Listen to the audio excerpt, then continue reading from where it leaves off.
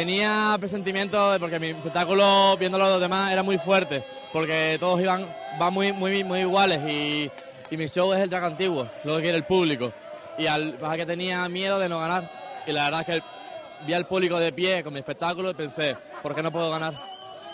Ahora pues espero trabajar mucho, descansar, despedir, despedirme reinado y, y que Mandragora descanse ya.